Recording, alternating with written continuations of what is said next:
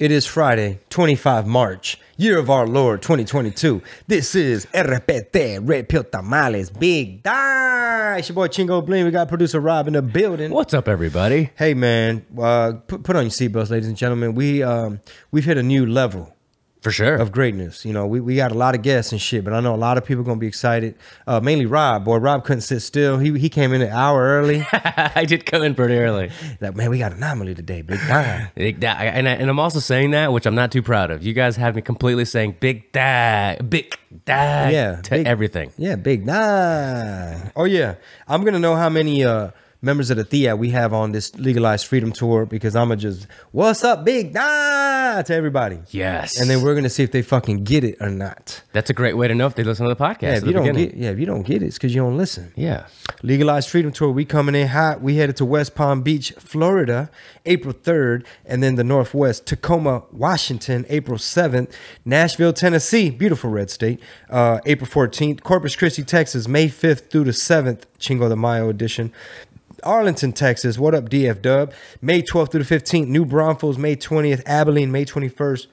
Oh, wait, there's a fucking asterisk next to Abilene. Why? Long story. Okay. But uh, the venue wants to take 15% of our merch money. And it's like, you know what, dog? I could just chill at the house. So yeah, let, us don't worry about Abilene. Lubbock, Texas, May 22nd. Bryan College Station, May 28th. That's two shows. San Angelo, June 3rd. Odessa, June 4th. Austin, Texas. Please don't be woke. June 9th. And uh, so many more dates Albuquerque, El Paso, Irvine, Ontario, Denver, Oklahoma City, Chi Town, Phoenix, San Jose, yay, yay, Brea, Oxnard, San Antonio, Addison. We're hitting about 30 cities, man. Legalized Freedom Tour. Hit up chingobling.com. Get your tickets now. Big time. How you feeling today, man? So I'm on a variety of medicines. Uh, Rob and I, we, we must be allergic to the same shit. I don't know what's going on in the air right now. Trees, pollen. I don't even know what I'm allergic to. But when that cold front came through, it just fucked a lot of us up. It fucked us up. Yeah, So, on um, Tuesday, people heard how you came in here and you're like, ah, take two, right? Like you're trying to clear your throat. Yeah, I was terrible. fine. Wednesday morning, I wake up and I'm like, oh, great. I have whatever you had.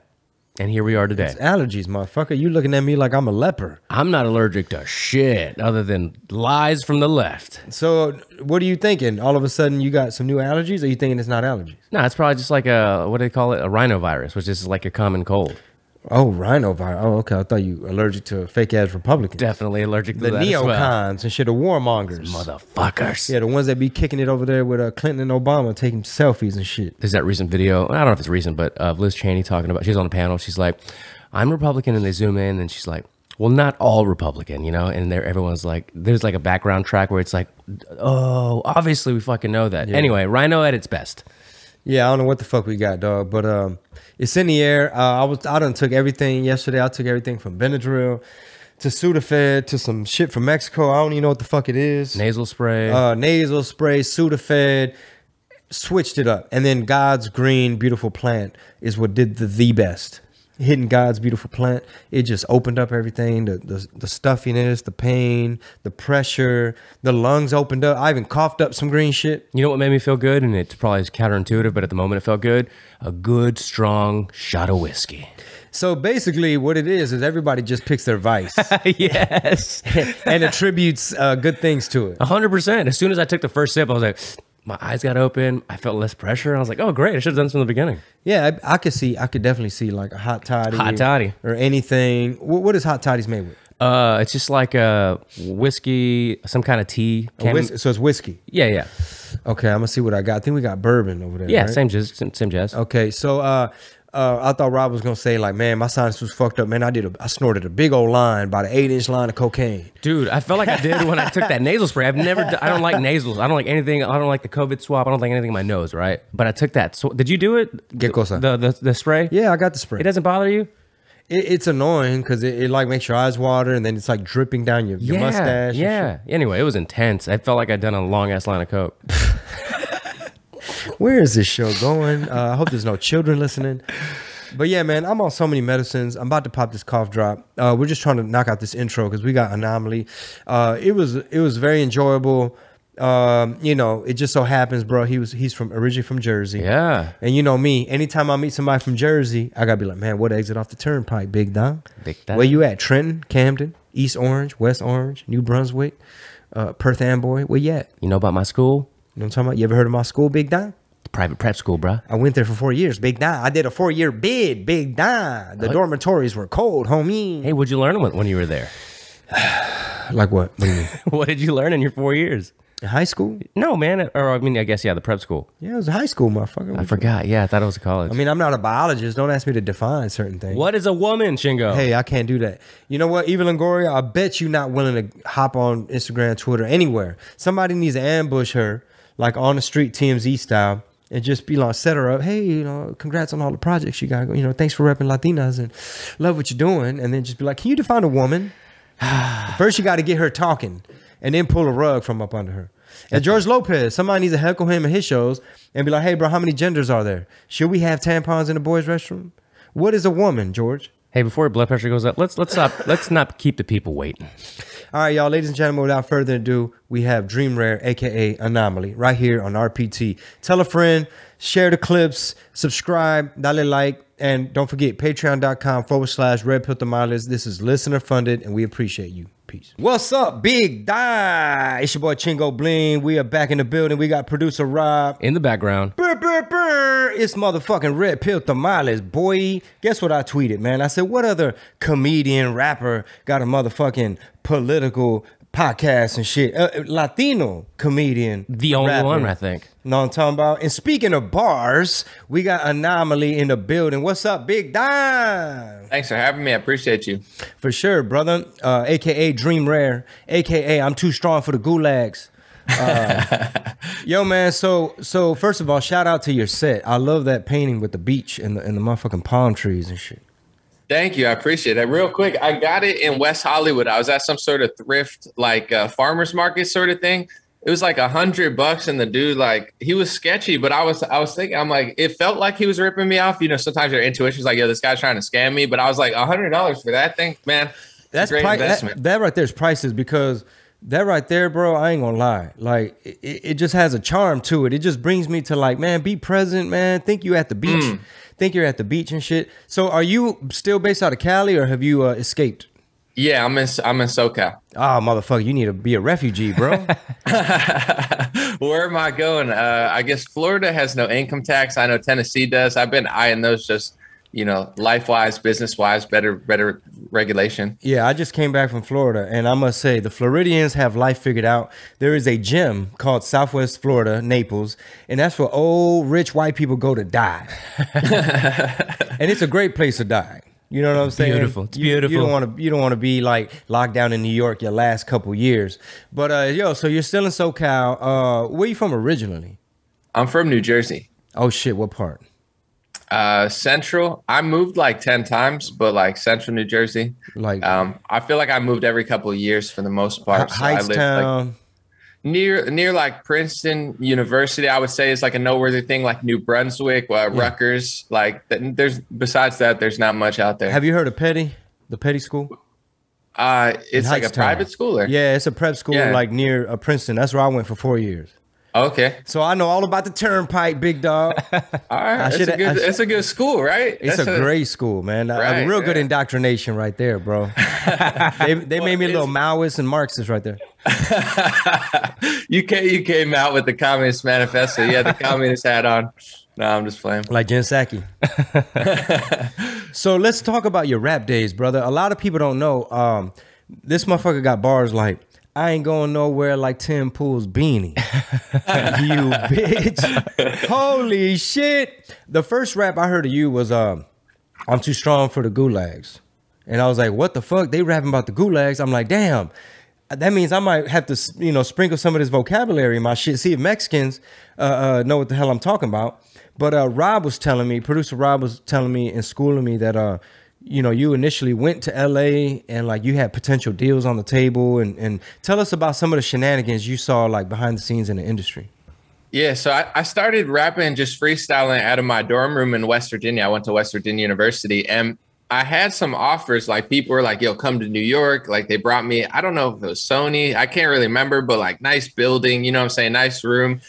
And I think at the time they couldn't really figure me out, right? I was uh, I'm actually part Puerto Rican, but uh, you know, I was not in the sun, so I was even extra white back then, just smoking weed in college, you know, partying and stuff. And I felt like they just never understood me. They're like dressed like this. You know, at one point, one of them said, like, don't rap about politics, just rap about like money and chicks and like, you know, weed or whatever. So, so, so then, they, I, so then they went and found Asher Roth. I remember when that song came out, I was like, I always, I never liked rappers like that. Now I'm way less of a hater. I'm like, all right, that was a banger for sure. But when I was growing up, I liked the lyrical stuff, right? So I always had like a battle rap mentality. Like, I'm like, they suck, they suck. Yeah. But now, like, you know, even you said that that picture makes you present. I feel like I've been a little bit I found peace myself too. And that's something that I learned where I'm like, even if you don't like somebody's music, I'm like, all right, what are they doing right? If they if they're as bad as I think they are, they must be doing something right. So now I'm like more a student in the game. I'm trying to learn. And that's why he agreed to do the show. he said, you know what? I may not like Chingo shit, but let me get on here. no, no, I, I, I really uh, I heard some of your stuff, but I was like, I want to just go in and you know, you seem like a cool guy. So oh, um, oh, but yeah, I guess I guess I had a like offers and stuff with with labels and just like little things but it never just came through i guess because i'd always ask a lot of questions what if there was a contract or percentages. I was always kind of keen to that and i feel like the more i ask questions the less interested they were. It's still true to this day even though i have more leverage in business meetings the more questions i ask about the contract the more they're like uh, you know, like, oh man, this guy reads this stuff. No, we, we don't want to do it. Bro, back in the day, uh, there was this little sneaker company called Yums, right, out of Dallas and it was uh, some older white cats that owned it, and they had Soldier Boy doing an endorsement, and a lot of Texas rappers like had their own version of Yum sneakers, and the shit was blowing up. They had a cool art team, and uh, we had a meeting, and I looked at the contract, and it's like, wait, there's it's a three year contract with four options. So then in the, in the in the meeting, I pull out my red pen, I circle that shit. I'm like, so this is really a 12 year contract, mm. and they're just like, all right, uh, fuck this kid. right. Right. You got to think like that though. I mean, uh, luckily maybe maybe we both had like business savviness to us and maybe not naivety. Everybody's like naive, right? I want to be famous, I want to be rich, but the one thing I'm reading and it said like there's these two percent. I'm adding all the percentages up. I'm like, is that 15% for me and 85% for you guys? Like I knew I was 19 or 20, but I'm like, I'm not taking 15% of my own shit. That's crazy. But some people really want the limelight, right? So they're like, I'll sign that and get there. But I'm thinking to myself, I could probably make more myself if I just wait. Uh, and it worked out, I think. And then on top of all that, uh, on top of it being shitty percentages and splits, and now you have creative control, intellectual property, the masters, and then you get the funny arithmetic that they do where it's like, all right, check it out, Anomaly. Uh, we had to make a, a, million posters. You're like, I did not see a million posters anywhere. It's like, well, you know, the music video, we had to pay this hair and makeup. What do we right, right, and it's right. like we're still in the red. Right. And I think uh, what's the name of the advance? You know, that's for most artists, anybody out there listening, the advance is money that they give you, but it's really a loan. So if you're only getting 15% of your stuff and you took out a $100,000 advance, that's an $100,000 loan that you make 100,000, 85,000 goes to them, 15,000 goes to you, and then your 15,000 goes to them to pay off the advance. So it's advances are never like just free money. It's just they're giving it to you and then they're taking it out the back end. The music business is a big fucked up credit card. That's what it is. So right. so so you moved to uh, SoCal. You've been out there, and um, eventually you made the I guess a shift where you started doing more like commentary online. And and how did you make that transition from music to what Anomaly is now? Right. Uh, 2016. I just I was just rapping and freestyling, and I was paying attention to Bernie versus Hillary first, and then obviously Trump and Hillary. And I just saw how the media was like rigging it to act like Hillary's the best. You can't disagree. The accusations they I, they started calling Bernie supporters Russian bots, robots in 2016, and I'm like, I didn't even know anything about Russia. Like I wasn't that savvy to foreign policy, so I was like. I, have never been to Russia. It's a place I rarely think about. You know, like nobody raps about going to Moscow. You know, it's it's not like Mexico or or like Dominican Republic. Like I didn't, I wasn't really keen to it. But they're like they're Russian bots. They're racist uh, my stepfather's Mexican, and he he was the first person I knew that really liked Trump because I didn't at the at first I was like, why do you like him? And he explained it to me. I mean, I'm talking like he has like an accent and stuff, like he's Mexican Mexican. I'm like, so when they start calling everybody racist and white, I was just like, ah, you know, it never it's something wasn't adding up. So I started just talking out loud and and trying to be more honest in the media. I felt like they were just lying about literally everything. Yeah, it took me a while to catch on because I was believing that shit. I'm sitting home watching the view, like, man, I'm like, man, Whoopi, Whoopi got a good point. hey, Joy Behar be knowing her shit, big dog. Oh, you got red pill Right, hard. right. Yeah, so uh, so you want to hop in, Rob? Now, I just wanted to ask, like, what originally, what were you going to school for? Uh, anomaly. Uh, I want to say advertising or marketing, but it was under the. It wasn't under communications. I think. Shit, that that shows how bad I did at school. I dropped out, by the way. But I I want to say it was like an advertising um, major. But what I hated about school was, besides everything, because I was just trash at it, but I didn't get to what I wanted to learn until like my second or third year. Like I'm taking class about rocks. I got this old guy sitting up there being like, dude, let me tell you about this rock. And I'm like, bro, I don't care about rocks right now. I mean, it's cool if, if you're interested in that, but yeah, I don't know. I, I, I remember taking 20 classes. I don't really remember even taking many advertising classes.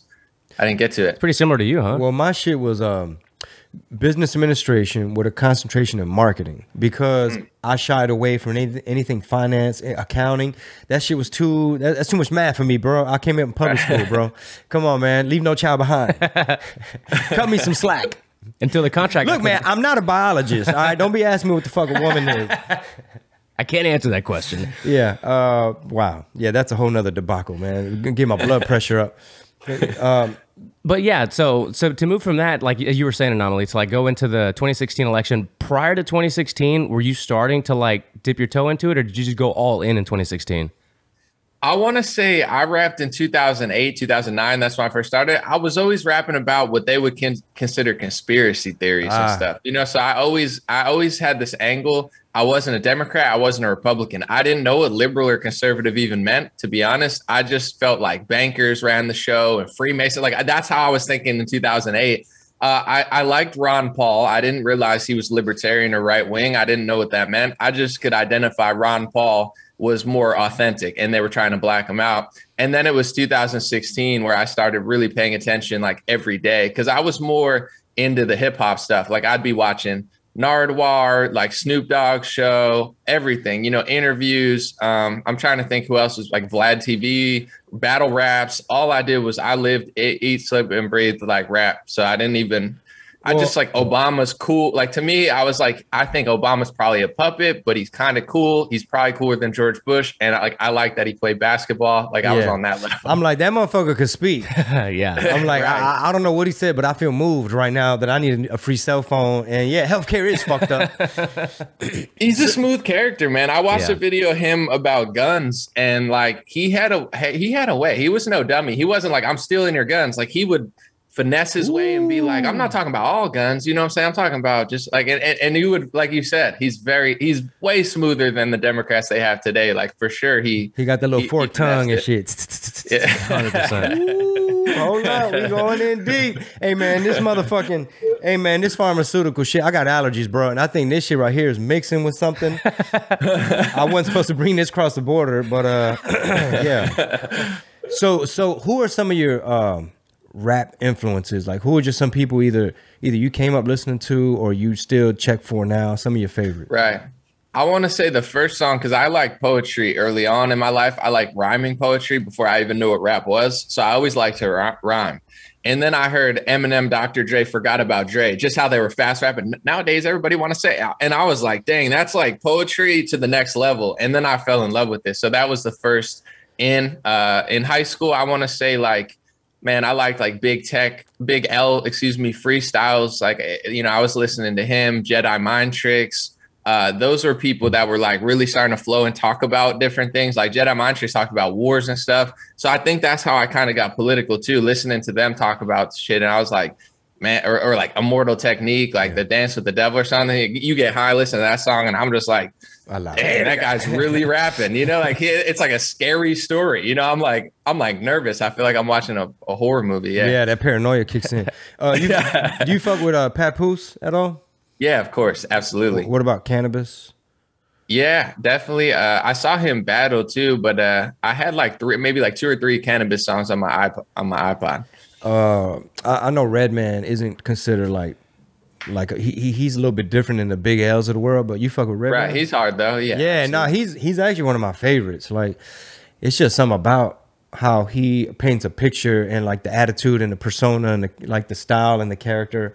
Um, actually, on our Discord, we were having a conversation where one of the members, um, he was like, "Hey, Ching," oh, he asked everybody, "Do y'all fuck with boom bap?" And I was like, "Well, what do you what do you mean by boom bap?" You know, I ain't a biologist. Tell me how you define it. And then he and then he gave a list. Uh, do you, you mind pulling it up? Yeah, man? yeah, I'll pull it to up. see if any of these names make a reaction or or if you chime in. But uh, Yeah. but yeah, we definitely want to disabuse you of whatever DJ Vlad. Uh, you know, hey, we on rock with Vlad over here, big dog.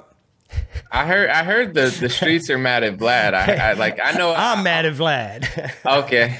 Did he do something to you too? hey man, I can't tell that story on there, bro. Because you know, I was talking to Lord Jamar and he was saying that that like a lot of people didn't like he explained it on his podcast to me. So I know the, the streets be mad at uh at, at Vlad now. I am personally, uh, allegedly, you know, certain intelligence agencies may be uh, using AI to scan and, and listen what the fuck I say.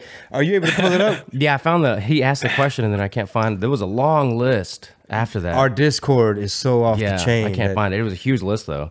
Yeah, it was super fucking long. I wish I could just pull it up. So Was it like OGs? Because I know I grew up on like '90s rap, but I know the like some of the older heads would be like, "Yo, you got to hear like Rakim and Eric B." Like it goes, you know. And I'm not, I'm not knocking Rakim. I know he's like one of the goats. It's just I didn't even know about that music until after. Like I had, I had to have older friends put me on to like '80s rap because I didn't, I didn't listen to it in college, and then I started. Some people mean that by boom bap. They go that far back, but I, I always think of like '90s stuff. Yeah, that's why I asked. Nah, it, it, the list didn't have any '80s stuff like that. It, it was like Okay. shit, yeah, it was a shit ton of '90s. But, but yeah, man. Um, we started this show a year ago, and uh, hopefully, a, a lot of our audience who ha- may have not heard of you can go follow you on Twitter. Uh, all the content. You're like a multimedia company, pretty much. Like you, you produce a lot of stuff. It's very timely. Um, just really good perspective. You know, you know, like these days, man, we have like Russell Brand and even Joe Rogan be get, you know popping some off where he'll just like have a specific guest and they'll make a really good point. Um, Right. You know, so anybody that's listening, you know, do yourself self a favor and go check out everything, consume it all. You know, go go peruse it. You got YouTube. Where else? Where else are you distributing? Uh, Rumble, BitChute, Gab, Facebook, Instagram, Dream Rare, like my hat, is uh, probably the best the best place. Like Instagram, I think a lot of people are using. But yeah, I, I crank out a lot of videos and I try to keep it going. I think you know working so hard and being independent and working other jobs for so long. Once it cracks, like you know, people are like, oh, "Why are you always putting out so much content?" Why? I'm like, it's my job now. You know, I'm happy to be here, so I just don't Yeah. want to uh, yeah drop the ball. But do you have a Patreon? Yeah, patreon.com slash rare talk. Yeah. Um, have you experienced any um, like being shadow banned or anything like that? Because I've been seeing a lot of red flags. We're, we're on Patreon. Shout out to the patrons, members of the THIA, the Tamale Right. Intelligence Agency. Patreon.com forward slash red pill tamales. Um, we've been seeing a lot of red flags of different people. Uh, Bridget, what's her name? Fantasy, yeah. and just a lot of people are like, well, just got kicked off of uh, Patreon because I was a guest Right. on on uh, Alex, Alex Jones Jones. Stuff like that. So I get a little nervous and I also get very frustrated with how big tech, you know, like they'll just hit you with a thing. Like they might have a, an incentive, like, hey, you can make money off reels if you just make enough reels, get enough views. And it's like, oh, you shouldn't have did that. Said Right. that. They did that to me. Yep. Man, how, how how like are you gonna end up having like a timpool.com type of like landing page where you can just have more control?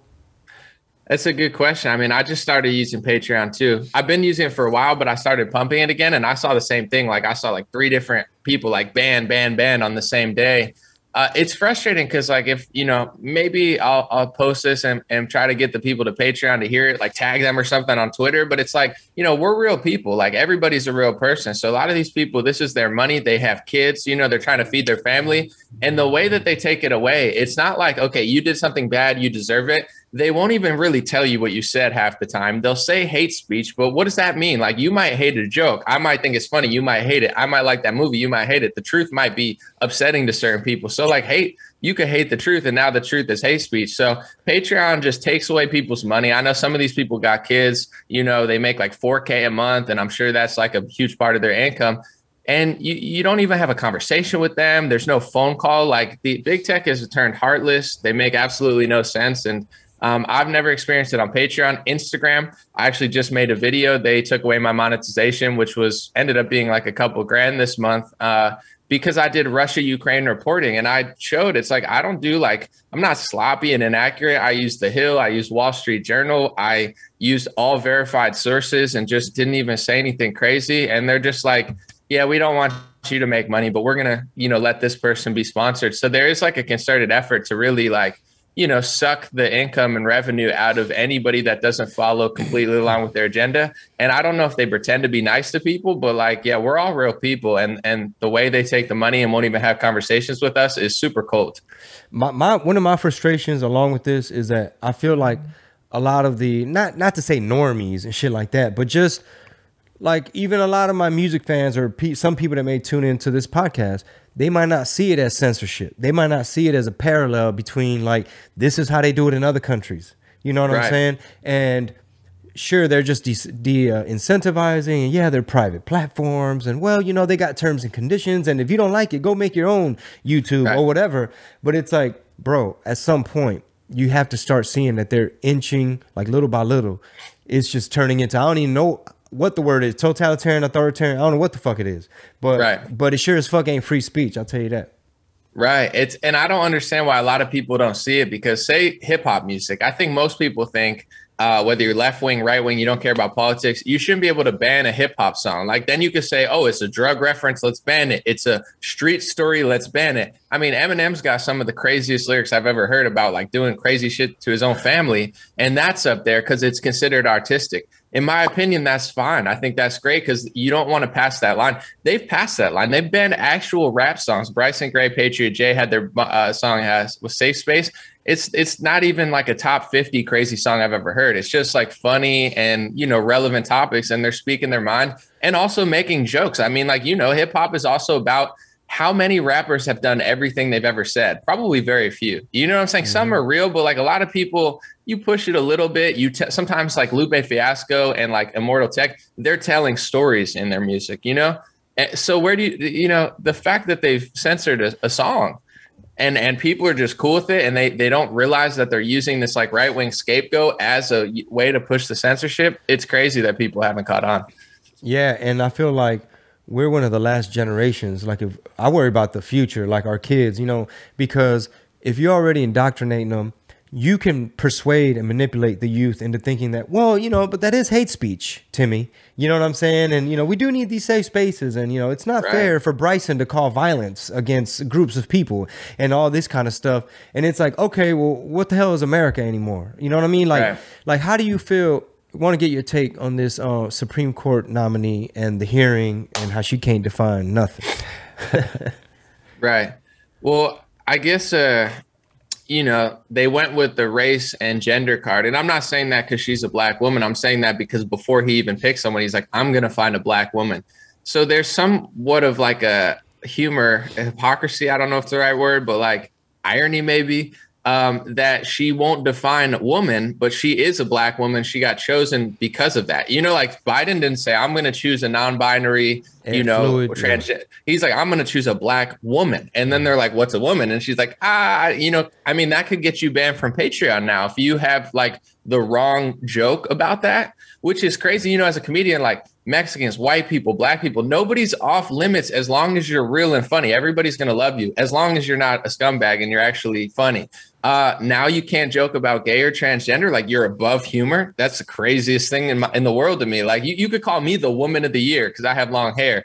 Is that hate speech? I mean, no. You know what I'm saying? That's not even close to hate speech. But if you are, you know, a transgender, now that same joke would be considered hate speech. So, you know, I think it's crazy. And I, I think, uh, you know, the, the left is very, very smart. Like how you used to say you watch The View. Uh, you know, they know how to emotionally manipulate people and use different groups and, and talk to you in a way you want to be talked to. Like that is what's bothering me. So I think uh, they're, they're, they know exactly like the best way to, you know, get somebody to push our agenda is use every victim card we can so we could just call the other side racist and sexist. Yeah, the intersectionality, oppression Olympics. And then by the same token, uh, how you just say hypothetically, like, I got long hair, they could just call me woman of the year, willy nilly. Yeah. Not only that, not only that, there could be a satire page who might name you man of the year. And all of a sudden, they're uh, blocked or suspended or deplatformed or whatever. And pretty soon, Right. pretty soon it's going to be debanked and decrypto. Right. De you're you're off the central, you know, the individual Swift. The same way they took Russia. You know, we gotta be careful what the hell we say. but um, I feel like that happened to a satirical website recently. uh, talking about Babylon Bee. Yeah. Yeah, Yeah. man. Like, what type of goofy ass shit? And I do stand up. That's like my main thing. You know what I'm saying? This is like one of our si- uh, our other projects. Um, and pretty soon, podcasting might be the main project because I don't know what the future of stand up and touring holds. You know, just log- logistically, a lot of my opening comics are like, bro, have you seen these flight prices? And it's like. And I sure as fuck don't want to drive. Have you seen these gas prices? You know, can I zoom into the comedy club?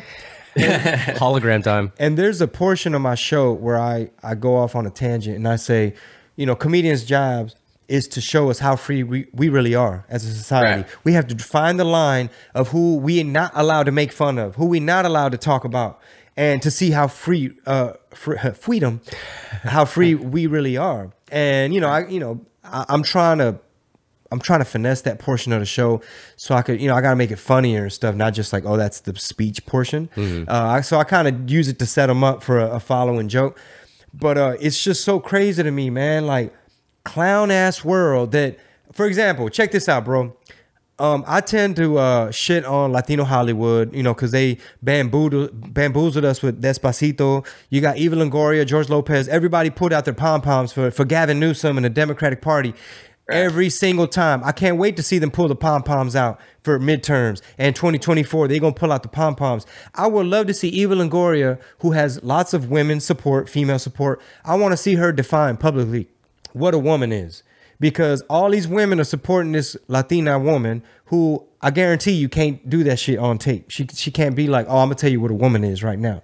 Uh, George Lopez, he probably, hey George, how many genders are there? I I challenge you right here, right now. Everybody in the comments wants to see what your take is. How many genders are there? Should we have tampons in the men's uh in the boys' locker room in high school, the, the baseball teams and shit? They got that shit in Louisiana, bro. Louisiana, tampons in the boys' restroom. It's real. It's real. So yeah, man, that's one of my beefs. I know you half Puerto Rican, bro, so I don't want to trigger. uh I don't want to trigger you. I'm I'm a quarter, so I'm only 25 percent Triggered. yeah, triggered. Yeah, so 75 percent of me fully agrees, but uh, quarter of me is furious. No, but yeah, that's how they work in, in all the racial communities. You know, they they get the famous people, and uh, I don't know if it's like paid off, but uh, you know, it's like you're just in the in crowd and when you're around people and you're not listening to other sides you know i don't i don't i think a lot of them think they're doing the right thing. You know they're just surrounded by that type of big money. And on the uh, debanking thing i wanted to bring this up because they always say well it's a private platform right? So just go make your own. Someone who actually did that they're called gab.com they did it and they said you know what? Because a lot of the right wing things they'll they'll sacrifice a few free speech things in order to stay on apple gab said listen our constitution is going to be the us constitution if it's allowed by in america it's allowed here you can't be threatening people and stuff they're not allowing people to commit crimes but as far as political and social expressions everything flies as long as it's protected by the First Amendment. They got debanked, they got de-PayPal, they got de-servered, their servers pulled out. They had to rebuild the entire thing from scratch. They're doing fine now because the leader is a savage and he was like, I'm really about this life because they tried to crush him, smear him, say that he, you know, he's a Nazi or whatever, like all sorts of crazy stuff. And he's like, dude, I'm telling you how I believe. I'm I'm just a free speech person, and I don't uh, have to agree with everything on the platform. A lot of people hate me on my platform. He's like, but this is how I'm rocking. So that's how savage they are. It's the same thing with this. It's like, oh, you can really speak your mind. It's like, no, you can't. You know, you guys are not only gonna not provide us Hollywood opportunities if we speak this way. You're actively, and I'm not saying they're all in on it, but big tech, Instagram, they're going to try to make it nearly impossible for us to make money and just steal like the you know if you're a celebrity they're handing out millions of dollars. If you're us you're you're like swimming against the current where it's like you know i'm still doing fine. God is great. I don't care. But uh yeah it's like they're taking money from me. There is no there is no handouts. How are you trying to hedge your your your bets right now, Anomaly, with like the censorship and the shadow ban, the deplatforming? Like, what are you trying to do to actively make sure your audience gets what you're putting out? Uh, I have an email list I've been putting out for years. So I got uh, over 160,000 or so on an email list. I got Telegram, I have Gab, BitChute, Rumble, they're alternative. I have this uh, hat website. It's called a dreamrare.com or godblesshats.com. I own that 100%. Um, a Patreon podcast I started because it seems like Apple and Spotify don't censor as much. So I'm trying to do all that. But even like Chingo said, I've been having the same conversation in my head, and it sucks because I like Patreon. Um, Mm-hmm. But you know, I'm thinking to myself, I'm like, dang, if they took that overnight, I might have to build my own website. I wasn't thinking about that, but I am now. Man, to shift gears a little bit because we've talked about like Hollywood and, and politics and stuff like that. The intersection of all this shit is Skeet Davidson, a political operative sent to smear Kanye and ruin his mental health. That's what I want to know. Well, I'm I'm gonna start with this, bro. It's the craziest video I think I might have seen all week, and I slept on it at first, and then I kept thinking about it after I watched it. It's it's uh, Kim Kardashian on Ellen DeGeneres talking about how she's branding him like with metal um, because she wants the or he wants the tattoo to not be removable because he's got he's got some ugly tattoos. I've seen it with the shirt off in New York Post. Like he looks like a they were saying he looks like a desk at school, like just random scribbles and stuff. It don't even it, it don't even look slick like a lot of people's. But um yeah, I don't know, man. It's like you're getting the Kardashian branded on you. Like I feel like it might be a dominatrix situation there. You know what I'm saying? Where she's just like, you know, Pete, you're my little slave boy. Like you're gonna get branded. Like because that's next level dominatrix stuff. It's not just like bedroom. It's like you're gonna be permanently tattooed with my name, and you're gonna like it. So. Man, Kanye might have dodged a bullet there. I don't know what's going. I don't know what's going on, but yeah, I, I think Skeet is just an open vehicle, you know, for Satan. And I, I pray for him because I feel like he's just all over the place. And, uh, you know, I think, I don't even know if anyone's paying him off, but I think Satan is just, you know, coming in his empty holes and he's got to, he's got to patch it up and start getting too jacked for the gulag. Bro, that that's the take right there. that is a take. Because it's spiritual warfare. We, you know, we don't It's an talk about ungodly that. force. You're right. We don't talk about that enough, but it is like Tripoli will say, like it's a, it's good versus evil. It's not, you know, it's nothing other than just good versus evil. See, because I, I I didn't I didn't look at it as like Skeet is a vessel for the devil. You know what I'm saying? I didn't really see it like he's just waiting for something to become his religion or whatever, or to you know, well, I don't know. And then the dominatrix thing, I didn't really think about that angle either. I was just literally thinking like he's one of those emotionally like like gets overly like super mandilon coochie whoop. Yeah, yeah, yeah. like you that coochie whoop, bro. You gonna get the shit branded. It's super coochie whip. It's it's like next level because you can't remove it. I mean, it's even because usually if you see like you date someone for a month, they got a tattoo. You're like, bro, you're soft. Like it's not even your wife. You just met her. It's Kim Kardashian. It's branded so you can't even take it off ever. Like it's in your skin, and that kind of makes me feel like he's like a he's like a little satanic sock puppet or something where they're just like, here you go, Pete, it's Wednesday. And he's like, ah. Like, I'm like, bro, are you in control of your life at all? I then- almost feel bad for the guy. I'm like, dude. Then he got the working he, he you, got man. the Hillary tat too. I heard about that. I didn't even know that. Goofy. Right. I thought it was like a parody at first because I'm like, really? But I think he really, ha- yeah, he really has a Hillary tattoo that he got during the other election. That's, yeah, like, dude, he's just, What were you saying, Chingo, about like Ellen and Hillary and him? Oh yeah, Kanye. You know he'd be deleting his Instagram posts, right? But he's made some allegations where he's like, "Look, this shit is deeper than what it looks like." He's like, "It's no coincidence that um." He said, "Oh, Hillary's ex-boyfriend Skeet." You know, he's probably talking shit right there, but he's basically saying like, this, "Y'all are pawns." Like Ellen controls a big part of the uh, uh, industry. Uh, what's her name? Uh, Hillary and the Dems own the media and, and mainstream Hollywood and all that. And um, I don't know. Some of it kind of makes sense because the minute Kanye put on the red hat and went over there to chop it up with Big Don, Teflon Donnie, and was like, yo, I could Air Force One finna be psh, Balmain, Balenciaga in this bitch. And then ever since that, they started coming with all, uh, oh, he's clearly off his meds. Mental health. Uh, we have a mental health expert here. So what is a delusional bipolar episode? You know what I mean? And it's like, y'all are slandering this man, bro. Yeah, definitely. I mean, he makes a lot of sense in his rants. Like, I like him because it's just stream of consciousness. You know what I'm saying? He's shout, you could tell he's just super smart, shouting out like 10 streams at once, where like some people, when you're hating, you, you can't really pick it up. And in some ways, he brings some of the stuff on himself where he's just like a wild guy. You know, I'm to take the mic and say Beyonce had the best video, Yeah. you know, like, but that's what makes him iconic. It's just like he really just does what he wants. But uh, politically and socially, he's spot on. He's talking about buying land, you know, black people not playing the victim and unlocking their brain. And this is the part that I think Kanye gets. I don't know if he explains it like this, but that's how I see it. Where it's not to say you can't look at the past and understand where you came from, etc. But Kanye's, I think, one of the richest, if not the richest black person in the world, maybe ever. Like he's that wealthy. You don't get that wealthy by believing you're lesser than you are. Mm-hmm. Kanye's believed he was a shit for 20 years. You have to you have to be confident. So what the white liberals are doing to black people is trying to say,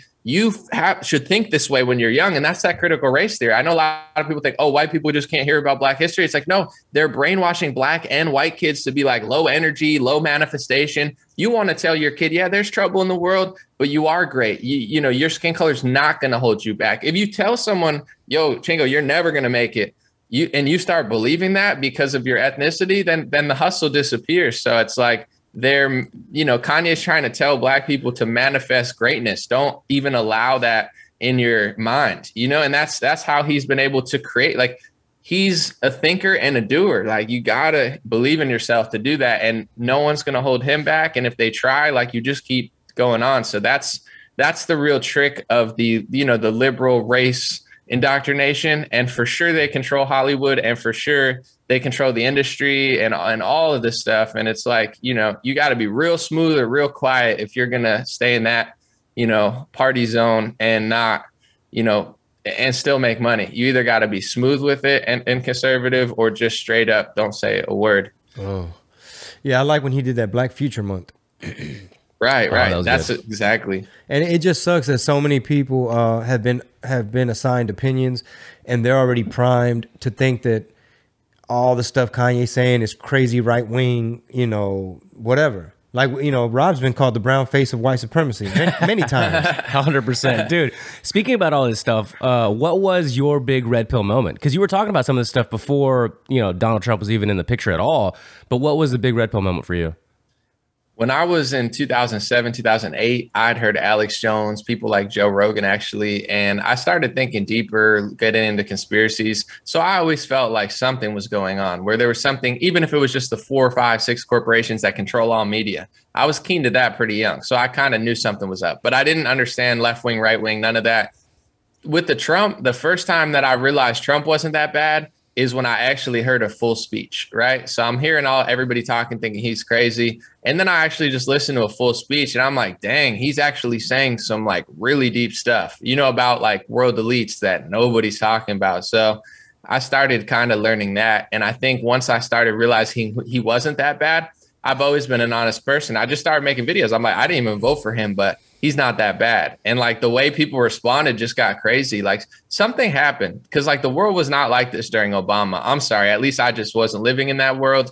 I know there's right wingers who didn't like Obama, but they didn't control culture. Nobody like talked about it all the time. It, the world was normal. People lost their minds over Trump to the point where if the dude drank water, they're calling him Hitler because Hitler drank water. And I'm like, yo, you guys are great. Like, you don't have to like him, but this whole this whole new level that people took it it started weirding me out. And then the more I spoke out, the more I learned, and it's been just a constant evolution. Not even as like uh, social issues and stuff, but as a person, I started.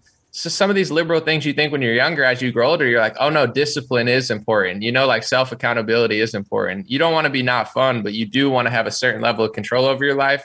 And I think it's a combination of getting older and the left. I feel like Chingo, like when we grew up, they were not that crazy at all. I mean, we made jokes, we said the word gay, like it, there was no like speech police. I mean, not at all anywhere, in my opinion. And then now the kids are hella soft, and I feel bad for them, but they're being totally like the left went 20,000 steps to the left. It's not the same liberal thing that I grew up with. Yeah, it started with PC culture. That was where it was inching its way you know, they started fucking with comedians and stuff. So, yo, man, the gas price in California, we have, um, I'm going to be touring in Cali. If, if you're in the area, man, we'd love to have you on the guest list. Come have a laugh, bring some guests. Um, where, where in Cali are you man, going? I'm doing everything from Irvine, Brea, Ontario, Oxnard, uh, oh, po- possibly money. Burbank, possibly. Okay, I'm in Orange County. That's that's a conservative area, so, so, that's where I'm at. So okay, maybe like Ontario or one of those, Brea. Irvine. Yeah, I'll hit you up for sure. Um, So a lot of our members of the Patreon, members on the Discord, a lot of my audience is, is uh is real big in California, from the Bay to the South. How are people like the normies or just liberal kids that have been indoctrinated? Man, what's what's the vibe out there, the zeitgeist, when it comes to like, well, you know, you know, the gas. Well, it's not their fault. You know, they're doing their best. We're gonna get a stimulus in California. Right it's tough for me to see because like i you know i live in socal i'm in a conservative more like red area it's not like conservative it's just like clean and nice yeah. you know it's not like yeah. la but uh yeah like i go to the beach and i just kind of like vibe out and i don't i don't really like associate with the culture that much you know I, i'm in my own zone but the one time I talked to somebody that seemed more left leaning, I went out for St. Patrick's Day. I was just talking to this chick, and she showed me she was super liberal or whatever. And I don't know. Her her thing was like, she's like, I hate that Republicans are saying that Joe Biden's to blame for the gas. Like, and I was like, I just didn't feel like arguing. So I was like, whatever, yeah. yeah. But I, I don't know what the vibe is really with certain people. Like, I think they've been now conditioned to be like, okay, you know, it's all Putin's fault. And I'm not saying he's not partially responsible, but the inflation of all the COVID money printing, California gas has always been a little bit higher than the rest of the country, and it still is. Like if it, you guys are four, we're six. If you're two, we're five. Um, I guess it's that easy to control certain people. They just say things and people don't critically think about it. But uh, yeah, I don't, you know, as far as like so many other people, I kind of just block it out. As At they, this point, I'm like, I'm, I'm in my own zone. As they pump, they're like, well, freedom isn't free. yeah, right. I'd right, pay $15 right. if I have hey, to. Take that, Putin. Take that. yeah, I, I, made it like a little parody thing. I was like, we need to get poor for Putin. You know, it's like a thing where I'm like, let's, eh, the poorer you are, the better. You know, we got to get poorer and poorer for to, to fight Putin. That's the only way. It's like, how is how is my poverty going to fight Vladimir Putin? That, I don't that, know if that's how it works. Yeah, right. That's the part that frustrates me. It's like nothing is Biden's fault. Not the border, not Afghanistan like he they didn't contribute to any of this. Inflation's not his fault. You know, none of this shit's his fault. And it's like, wow, y'all literally just hop on TV and just straight gaslight people. And Mexican Americans, bro, they're gonna be the last one. We gonna be the last ones to get it. You know, I, I, like to roast my own people. I like to I like to bully them into submission. You know what I'm saying? Like we should do a we should do a uh, a contest or something where we like find a like a little hater lefty comic yeah. comment in the uh, in the in the comment section or something and just be like hey dude we'll cash app you 50 bucks. All you got to do is just sit through a, a whole trump speech or whatever right? Mm. like like that's that's it. You don't have to agree.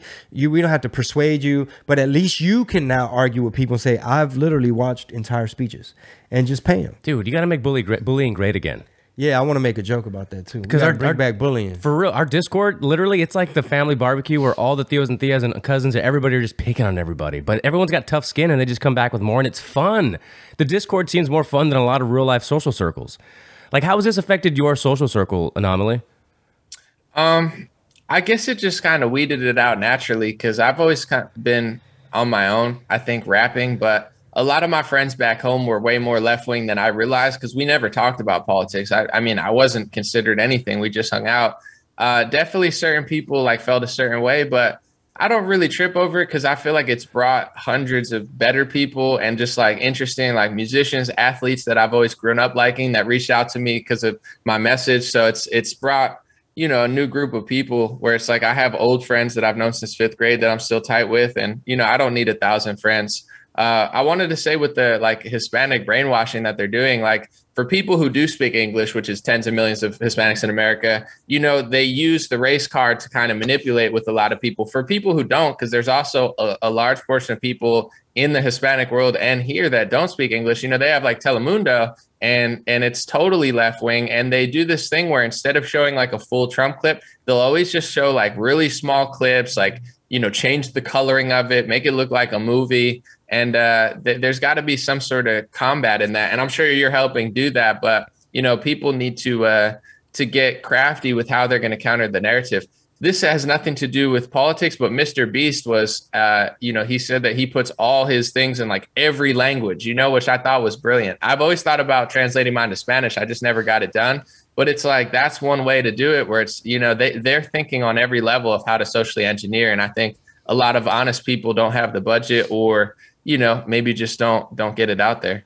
That's really smart. We should uh shit. I don't know who's gonna do it. Maybe my wife. Her Spanish is way better than than mine. Uh, I won't speak for Rob, Your Spanish is better than mine. but um, but yeah, that's a really that's actually a very genius idea. Like to take one of our clips and just voice over it because like all the YouTube stuff that my uh, my daughter watches, uh, she's three.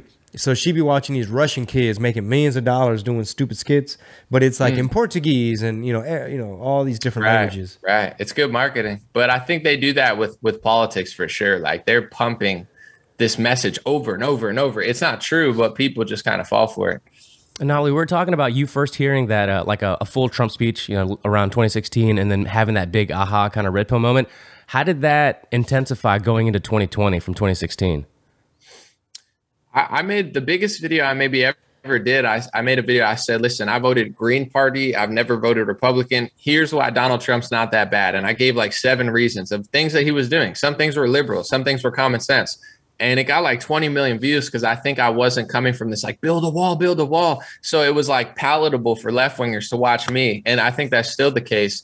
And it just blew up. And you know, from there, I just was like, I started, you know, reporting on certain things. And I like, they were lying from the very jump. Like I said, this whole now, this whole Russian narrative, it's not new to me. Yeah, there's a war going on, but they called me Russian in 2016. They've been setting this narrative up. That's how crafty they are. I, I'm not a 1% Russian, but it's like if you disagree with Hillary, you're a Russian. You know, it's like you're a racist, you're a sexist, you're an anti Semite, you're a xenophobe, you're a conspiracy theorist, you're an anti vaxxer, you're a transphobe, you're an anti gay, you're a Russian. These are their ways to basically say, I'm a good person. You're a horrible person. This conversation's over. I don't even have to communicate with you because I'm such a better person than you. And the the situation is these people are always like the worst people. You know, that's it's such a scummy, fake way to just you know, especially in comedy. I mean, you do comedy, so it's like if so, uh, that wouldn't work. You you know, you- you're not allowed to shut other people up. You just got to be funny. And if you can't be funny, you know the, the audience tells all and, and and like the energy tells all. You can't really fake the funk in that world which is why it's so great. It's like mma a. Lot of these people are more right leaning now because there's nothing fake about fighting. You know i'm saying? You're in the ring you brawl and you know they got all ethnicities in mma it seems like most of them lean right. It's because it's just real life real world stuff. But uh yeah i just kept kind of cranking with it and having fun with it. I guess I always had a passion to speak out. So I just I became passionate about the craft of like edit making videos. And you know, it's it's been cool with me though. I mean, there's been rude people, etc. But it is what it is, man. I've I've never really cared what other people thought. And I know I'm on the right side of history. And uh, you know, I try to have fun with with with it. How often do you get messages like, "Yo, anomaly, you red pilled me"?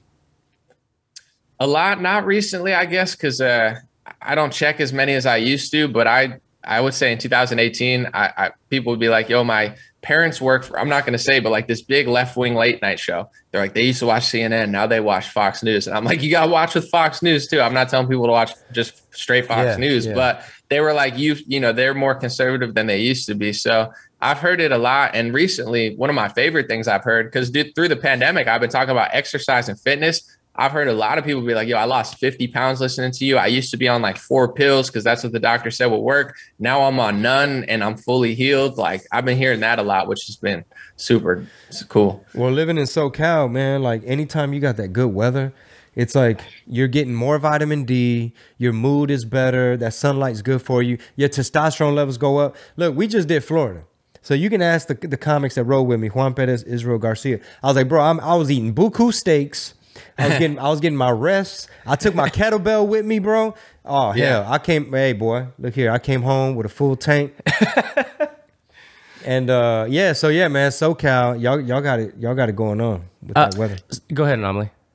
Yeah, I was just gonna say it's the weather's great. There's a lot of areas. It's not all like LA, San Diego, and like San Francisco. Um, the politics are on a state level pretty crappy, but the weather's nice. I live close to the beach now. That was always my dream. So I'll wake up some mornings, run on the beach. I body surf and stuff. Like I love nature. I love the ocean. And I always say, you know, the ocean is God's pool, swimming pool. You know, it's just it's moving. You got the sand feels good. Like it's it's a vibe. That's why, like you said, I got that there Yeah. to remind me. Hell yeah. Did you ever try to uh, dip your toe into entertainment other than music, Anomaly? And, and what did you, what kind of resistance were you met with if you did?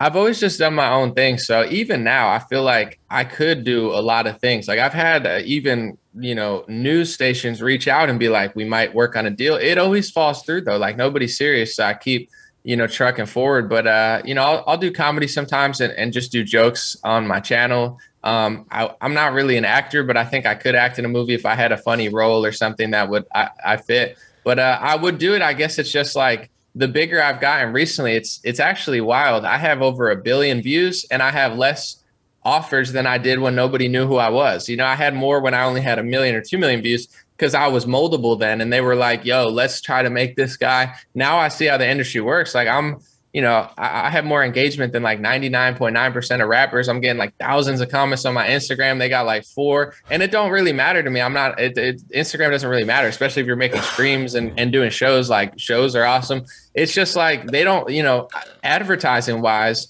I know the value of what's going on, and nobody wants to really touch it with a 10 foot pole. So, um, you know, every offer that I've kind of done in entertainment has been just like, myself kind of like doing it on my YouTube channel or you know it's like sadly that's the only place that uh you know is interested. Well, if you enjoy the beach today, man, think of us because all we have is Galveston.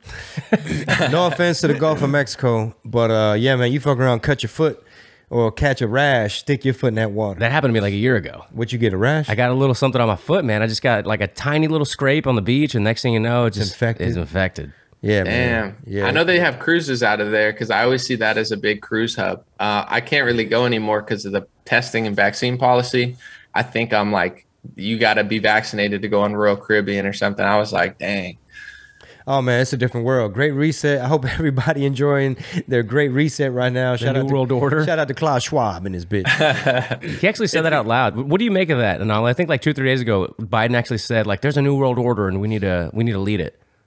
Yeah, well, I'm gonna show this real quick. It's a, it's a book. I don't know if it's backwards, but it's called COVID 19: The Great Reset. Like, it's not a conspiracy theory. It's a literal book he wrote, and he he doesn't agree with like free market capitalism. But um, yeah, with the New World Order, the Biden thing, they've been saying that for decades. I think George Bush said it years ago. I mean, they they're like, we're establishing a New World Order, and then you're like, they're doing a New World Order, and they're like, fact check, that's a conspiracy theory of a secret. I'm not saying it's secret; it's out in the open, and they're saying they're saying the conspiracy is a you know this is like wikipedia fact check you know youtube saying it's a conspiracy people have they think that there's like a secret totalitarian new world order and li- i'm reading klaus schwab's book i'm listening to joe biden i I don't think Joe Biden wants to be totalitarian. I see what he's doing. They don't they want to ban Joe Rogan. You have his press secretary talking about a foreign country, Sweden, who I believe owns Spotify, to ban an American citizen. Like so I don't I mean, I think they're being open and honest. They are trying to do like a global liberal communist sort of thing where there's like a top down, you know, and it has, they don't believe in the First Amendment. They don't believe in the Second Amendment. Uh, yeah, I mean, I, I think it's pretty clear that they're doing that, but they still try to act as if it's this like crazy theory that like lunatics have. Yeah, where, where could we find that book? Oh, uh, it's on Amazon. It's just like, yeah, like 15, 20 bucks or something on Amazon it's interesting too. I'm like, I'm gonna read a clip for you real quick because I, I highlighted it. This is from Klaus Schwab. It sounds to me like he doesn't agree with America and he believes in big government. He said, COVID 19 is likely to sound the death knell of neoliberalism, a corpus of ideas and policies that can be loosely defined as favoring competition over solidarity, creative destruction over government intervention, and economic growth over social welfare. So he says COVID's going to end this. And he's saying, you know, what we have now is creative destruction over government intervention. So he sees creativity as destructive and he believes government intervention is better than that. Where to me, I don't I don't know what creative destruction means because I think creativity is great. Free market's great. Like this, you know, c- comedy would be very boring if you had a dictator come in and say, you're not allowed to joke about Asians. You're not allowed to joke about white people it's not funny anymore. So, you know, he is very open with what he thinks and he does not believe in freedom of speech. He believes in government control. Wow. And it's all up in your grill. and it's frustrating when, you know, you try to explain the shit to the normies and they're like, dude, you're a fucking pothead conspiracy theorist that does parodies, bro. so, yo, Anomaly, uh, aka Dream Rare, uh, we're going to put all your links in the description. We appreciate your time, man. Thanks for checking in. And when I'm in yes, SoCal, when I'm in SoCal, man, we got to, uh, you know what I'm saying? Do something, man. Yeah, I'll have my guy email you that has because he's been setting it up. Uh, yeah, I would love to check out your your special. When when you coming to Cali again? Um, I have uh, shit. We could text y'all the dates because it's kind of sporadic. We're doing everything. Brea is in September. Uh, Ontario's July. Irvine's July. Um, Okay. Yeah, stuff like that. But for Got sure, you. Cool. for sure, brother. We appreciate it, ladies and gentlemen. Anomaly. Thanks, I brother. appreciate you. Thanks for having me. For sure. Thanks, brother. Have a good one.